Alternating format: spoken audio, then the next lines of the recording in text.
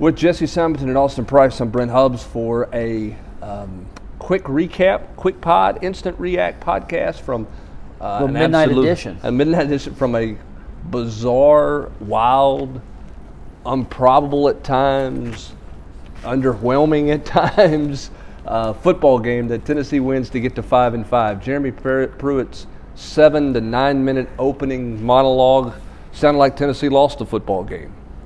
Yet they didn't. They found a way to win the football game in a tale of two halves, and redemption stories continue, Jesse, and uh, unlikely heroes continue for this Tennessee football team. Just your instant reaction to, to Tennessee finding a way to win this football game 17 13 the game, the result happened not exactly how I expected. I, I, obviously picked Tennessee to win, but the fact that they did actually have so much trouble, um, particularly in those first nine minutes of the game with Kentucky's, you know, multiple players, and even Jeremy Pruitt kind of alluded to it as a triple option attack. Um, but for all the mistakes they had, jumping off sides, yeah, how many touchdowns were wiped off the board? You know, at times they had to score twice just to get a touchdown in because of self, you know, self-inflicted mistakes. Running back doesn't line up correctly on the line, so Austin Pope's penalized, it, but it wasn't his fault. It was running back's fault.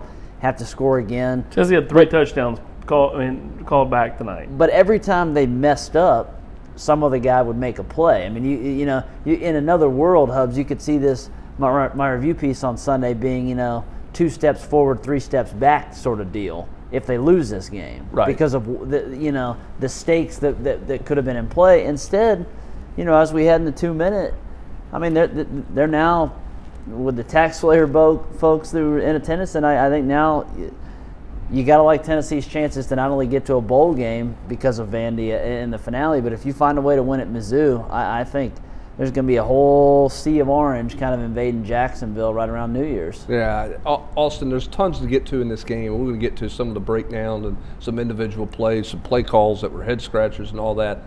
But the resolve of this team to, to find a way to win this to, this game after you fell behind 13 to nothing. Clearly, they weren't going to be able to win this game a year ago like this, and I don't know that they could have won a game like this the first month of the season. Well, we know they couldn't because of BYU. I mean, like the way they finished tonight versus how you know. I mean, I think those are you talk about tale of two halves True. or whatever. That's a tale of Tennessee's season, in my opinion. Well, I mean, when you look back, you know, at this game, and you know, Brent, you talked about it at times improbable, and it was. I mean, you know, if you know they got off this terrible start, and you know they had no rhythm at all on offense. Then they finally get a little bit of a rhythm on the one drive, and Trey Smith, you know God love him. That's you, that's who he is. I mean, it's how he's going to play. He no, but the, that was stupid. That this yes, wasn't like yes, this silly. wasn't a little I, bit playing after the whistle. That was a dumb penalty. Yeah, but he's done that throughout his career. That having these kind of you know a little bit too rambunctious and goes in there jumping in like he's coming off the top rope in a WWE event. Point is, is that's just that's who he is. It's silly. It's a dumb penalty. You're exactly right. It's just like the late hit by Matthew Butler. Got to be smarter than that uh, and know who you're, who's back there throwing the you know throwing the peel, trying to throw it 40 yards. Um, but you know, you go and look at this game, and you thought with eight minutes to go, Tennessee's got the ball after the you know fourth down stop. They're going to go and, and, and, and win the football game. If they go put points on the board, it's over.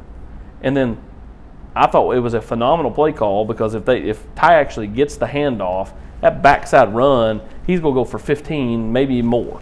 And, and you know, JG after the game you know, said it was on him. Said he had two hands because he's struggling to hand off, you know, that particular way. Felt like maybe the ball got stuck to him a little bit. Kicked forward. Kentucky was all the way down. Penalties, you know, gets them down to basically the one yard line. Tennessee. It, Tennessee's head coach did just, not feel like it was on the quarterback. I mean, Ty got pulled after that. He did not correct. go back in the game. Yeah, that's right because it was right in the belly.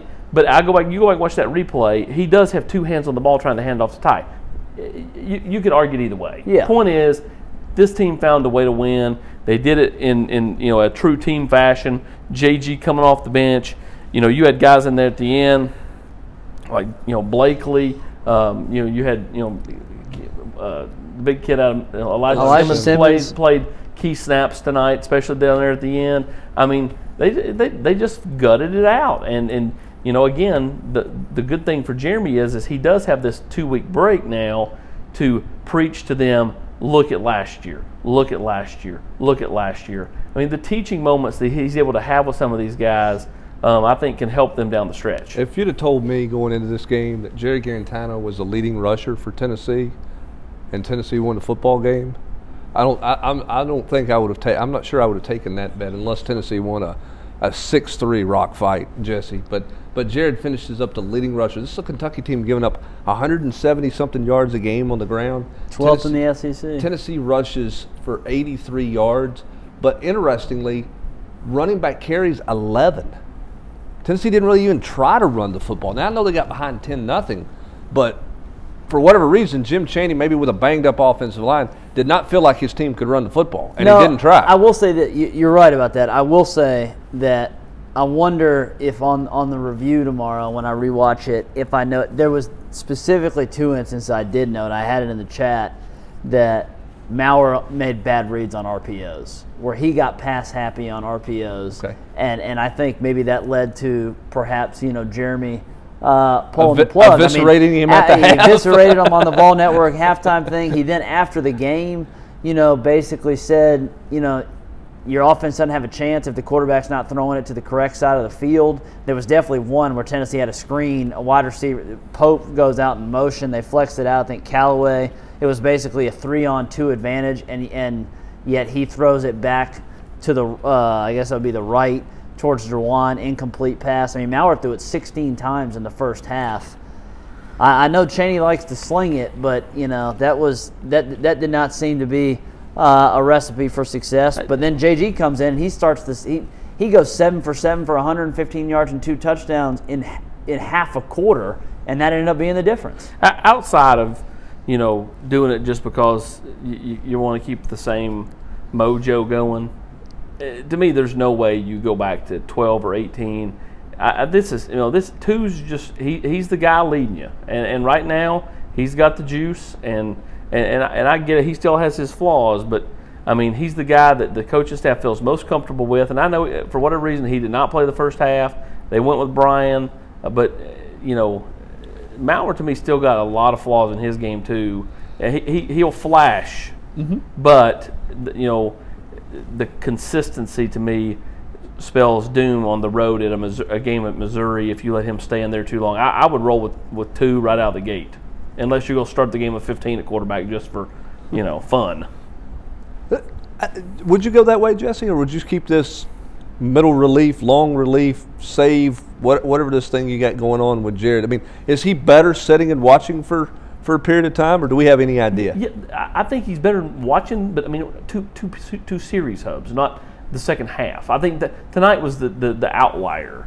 Like the, the fact he did not play in the first half when when Maurer. Well, they didn't have the ball in the first quarter. Yeah, I do wonder. I do wonder. I do wonder, like because, you know, when we can break down some some different some various plays of this game. The game could have gotten away from Tennessee if Bowden, who was fan, phenomenal running the ball, did not just make an inexplicably terrible pass on a pretty good play call by Eddie Gran. Warrior about the comes interception up, for Warrior comes up with a pick, but he was beat on that Oh, yeah. play.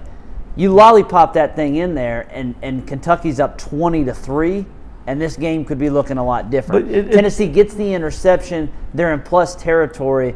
I think that you know that that is where clearly it's been the reverse actually. Hubbs, where he said the reverse just a week ago with Jarrett and JT Shrout. He was like, we kept Jarrett in because we were you know in the red zone or near the red zone, which is why we didn't want to make the quarterback change.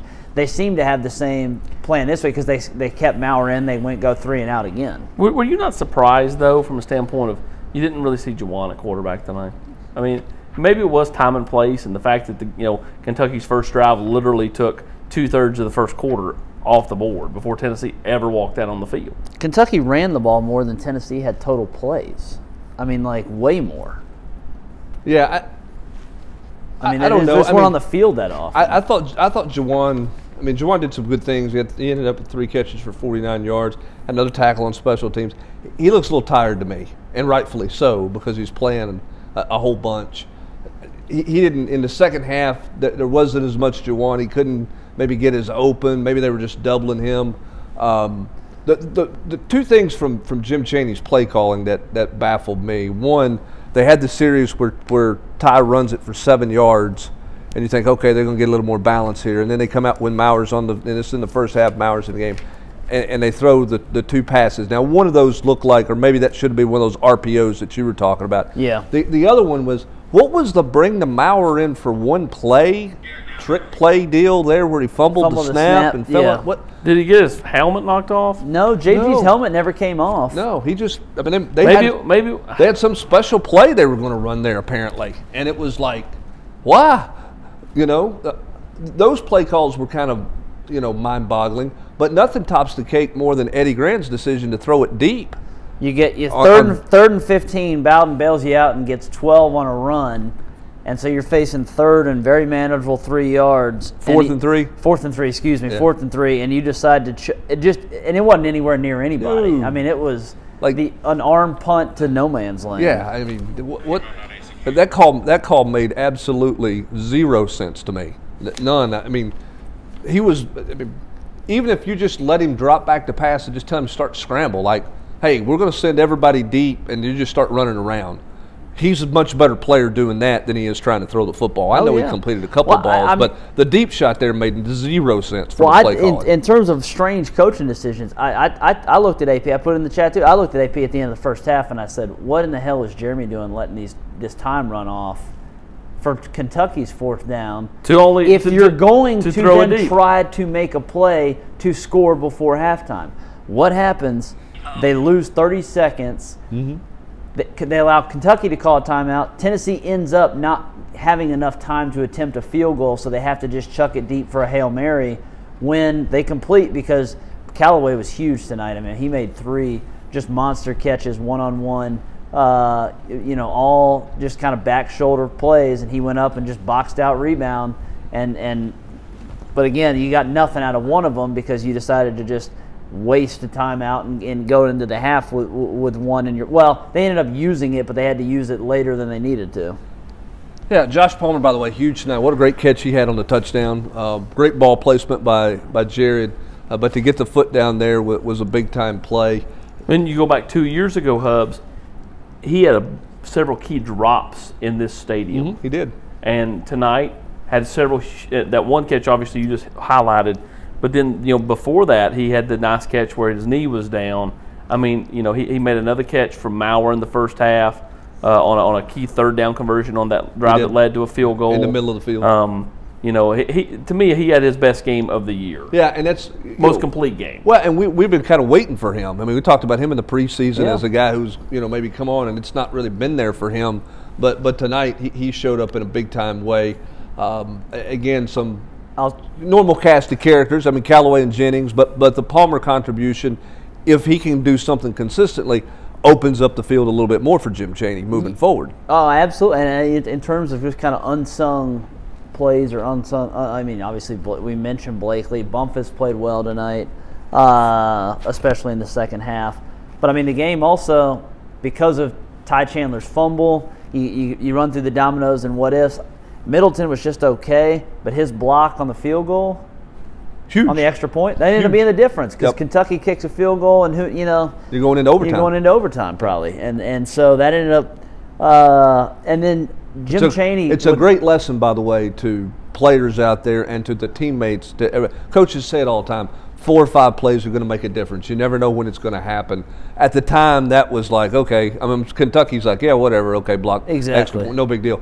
Turns out, it's Difference in the game. Yeah, difference in the game. Anyway, go ahead. just eh, yeah, and I I just I didn't want I didn't want us to not to look over that because the three fourth down stops in the second half and all that you know the the the play by I mean I got it on video I put it on the site To'o To'o just sticking the guy and then he got some help but I mean he just met the running back in the hole on third down and then for Tennessee to be prepared for the fourth down plays those obviously were plays of the game but can't overlook the, the, the block by Darrell Middleton just because of how the final score ended up playing out. How about how about Henry gets hurt, goes to the Kentucky Medical Facility to get an X-ray, I guess, or He had a big old thing on his knee. you know, got some kind of evaluation, and then he comes back out and plays, and and, and, and was a huge was factor in the game. Oh yeah, I mean that. The, the, uh, Jesse mentioned the stick He he had had, that down I- there. yeah, it was something with his kneecap. He had that kneecap iced hard after the game. Um, yeah, credit for him coming in there and talking too. I mean, it would have been real easy just to get on the bus and Mm. They were a happy locker room. We could hear them. Yeah. I mean, Oh, they, yeah. yeah, there was some clear, some obvious jubilation, but to a man, every single person, you know, kind of noted what Austin alluded to. You, you talked about. I mean, they were in this position a year ago, and how do you finish? Well, and I you think- know, let's celebrate now, but how are we gonna finish? And and the, and the bye week couldn't come at a better time. Well, and we know because we've had conversations, Austin, you and I, Jesse, all of us have had this conversation with the head football coach. This was the game when you look at the November schedule.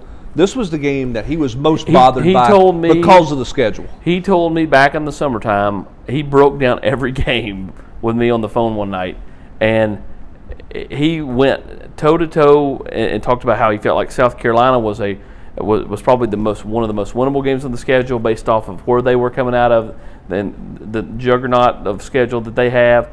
And then he said the one game that he feared the most was Kentucky because it's the end of a long stretch, and Kentucky's coming off a bye.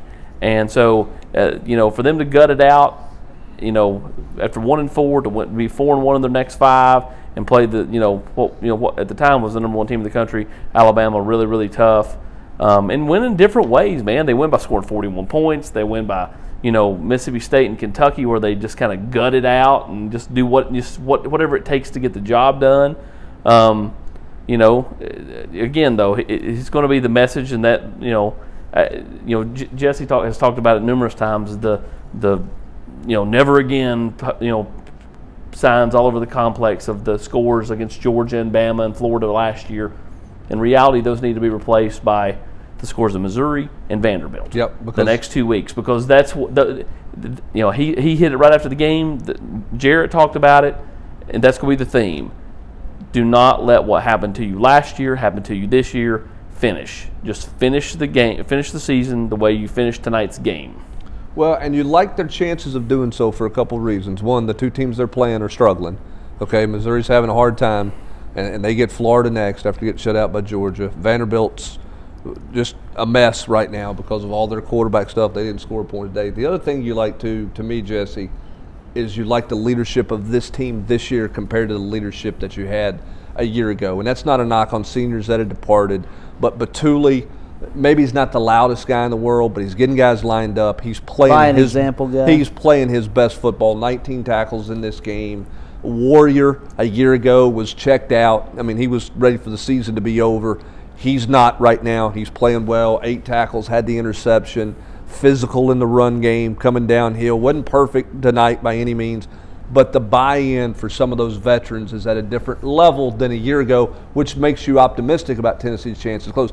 And the fact the schedule's not as rough. Yeah, and uh, absolutely, and I, I, you know, and I've I've written about this. I've taught, you know, Jeremy likes to harp a lot about how young this team is, and overall they are young. There are plenty, of, there is plenty of youth that is helping this team, but I do think the turnaround has been spearheaded by a group of veterans, and specifically mostly seniors or guys that aren't going to be here next year. Uh, that do, and, and Darrell Taylor kind of said it tonight. You know, they want to leave Tennessee in a better place than when they got here, and obviously it's been rough, and they've been through some of the darkest, you know, times. But they're looking like they could be the group that kind of spearheads this turnaround. And so we're, we're talking about Darrell Taylor, Mark West Calloway, Jauan Jennings, Nigel Warrior, Danny Bituli, Jarrett Guarantano, Trey Smith, Brandon Kennedy. I mean, uh, uh, you know, Pruitt's like we only got X amount of. Well, all those guys right now are your best players, and and sprinkle in your To'o To'os, sprinkle in. We, you know, Carvin gets maligned all week. Apparently, he was terrible in practice. He comes out. He's pretty good tonight. And give K-Ron Calbert K-Ron credit Calbert. too. And I, and I told AP, I mean, Jarrett was throwing some nice 50-50 balls, but that the the you know AP and I that was probably the best two series in pass protection. Oh, the dude, there was a wall. back to back where it was just like, all right, I'm just I just get I can just sit back here and just throw the pill. I mean, I got in. there's nothing even to worry about. Well, and give Jarrett credit too on on a couple of ch- couple of chances or a couple opportunities where it looked like there was going He to be pressure. ran. He climbed the pocket. He got outside. He kept his eyes downfield. He ran it a couple of times. He played at The, a the throw to faster Palmer where his knee was down, he climbed the pocket, Uh-huh. fired a strike. You know, he, he, he made plays with his legs. The third down play right before that when he got it was when uh, he, he climbed the pocket. He saw that Tim was going to be able to peel out and, and Right, and, set that block ta- up set that perfectly, block yeah. up perfectly, and, and get the first down. And that was a hell of a call by Chaney for the, for at the end. I mean, to call a naked boot there. You know, Yeah. I mean that's that's a gutsy call because it didn't look like you know it did look like they may, may they may have to punt it. I thought he back was going to go all John Elway there, just trying to get the first down. you know, I mean, like think about it. If you, he shouldn't throw a pass the next two weeks. I mean, like just just totally get him healthy. It does not. It, some of these guys, the Henrys, Well, the tonight he said he didn't know he was, if he was going to get to throw a pass. Yeah. that was that was also crazy. After the game, Jarrett saying that he didn't even know if he was going to play. But I mean, like you know, Bryce Thompson comes out of this game, does not play after uh, the, the the Kentucky second touchdown. Um, you know, Henry's obviously had the knee wrapped, and, and of course he gutted it out. But I mean, those are the kind of guys. You know, these next two weeks to me are for the Jackson Lampleys and the Elijah Simmons and the guys that are, you know, you know, you know that you know potentially could play them the last couple of games. Anybody that you feel like can play, you know, Darnell Wright, again, wouldn't wouldn't practice him at all, at, at least until game week of Missouri. Well, and what Ten- good does that do? Tennessee's going to take tomorrow night off. Sa- Sunday night no practice. Monday's going to be off. Tuesday's going to be a, a weight room type deal. They're not going to go back to the practice field till Wednesday to try to catch their breath, to try to get you know recharge the batteries and get back doing get back to getting healthy. They'll do it as a five and five football team, which to me is as improbable as anything. Where we thought this team was coming from Gainesville, Florida, going into that open date not many people were betting on this team going going on a four and one run, going four and one over their next five to get to five and five. I certainly was. We sat here at twelve twenty seven uh, on Sunday morning in Lexington, and my bold prediction is is that Jarrett Guarantano plays for Tennessee football next year. I I, I, I don't know what it is. I just I, these people have had him pegged to leave. I had him pegged to leave, rightfully so. But it would not surprise me at all if if if he finishes the season like he's played. If he's not, you know, back with this football team in 2020. we'll see how he finishes, and, and Yeah. I, I- you know, I, I wouldn't rule it out either. We'll see how, uh, um, but I also wouldn't rule out him moving on. But look, no, nobody has surpassed him or supplanted him on this roster at the quarterback position. Nope. That's obvious as we sit here at 12:30 in Lexington, Kentucky, uh, wrapping up th- this Tennessee win. Can Tennessee finish out the season the right way? That'll be the that'll be the challenge for a Tennessee team And- that found a way tonight. In, in, in some of the most improbable fashion. And not that it matters, because I don't think one win helps you in recruiting. But to win tonight in front of Octavius Oxendine, to win tonight in front of Tyler Baron, to win tonight and doing it with you know with, with good play on defense in the second half, making plays and, and, and that kind of thing. To me, the only it, it, it, it does help a little. It does not. It, you know, Tyler Baron's not going to pick Tennessee because Tennessee beat Kentucky. Just like I don't think he was going to pick Kentucky if Kentucky had won this game. I mean, Well, but it- it- he's going to pick them the place, but, but it does. It gives everybody more of a sense of okay, we're we're on an upward arc, as Jeremy said after the game. Right, which is exactly what he said. So Tennessee heads into an open date, a key open date at five and five, with an opportunity, believe it or not, to go seven and five on the season after a goal line stand, um, after a 17-0 run, a 17 unanswered, and a goal line stand preserves that for a second half shutout as Tennessee beats Kentucky 17-13. That's going to do it for an extended version of an Instant React podcast for Jesse Simonton and Austin Price. I'm Brent Hubbs. Have a great Sunday, everybody.